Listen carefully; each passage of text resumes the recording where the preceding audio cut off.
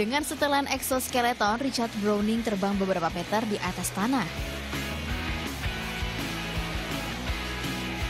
Ia menjadi manusia terbang dengan bantuan motor jet yang ada di lengan dan ranselnya. Dengan alat itu juga memungkinkan Richard lepas landas dan terbang vertikal. Karena bisa terbang, media setempat merobatkannya sebagai Iron Man. Peralatan manusia terbang merupakan salah satu yang dipamerkan di pameran CubeTech di Berlin, Jerman. Berbagai ide dituangkan dalam berbagai inovasi, mulai dari gadget inovatif, pakaian pengukur tingkat stres, pengisi baterai mobil di tiang lampu, dan games yang membuat Anda berolahraga.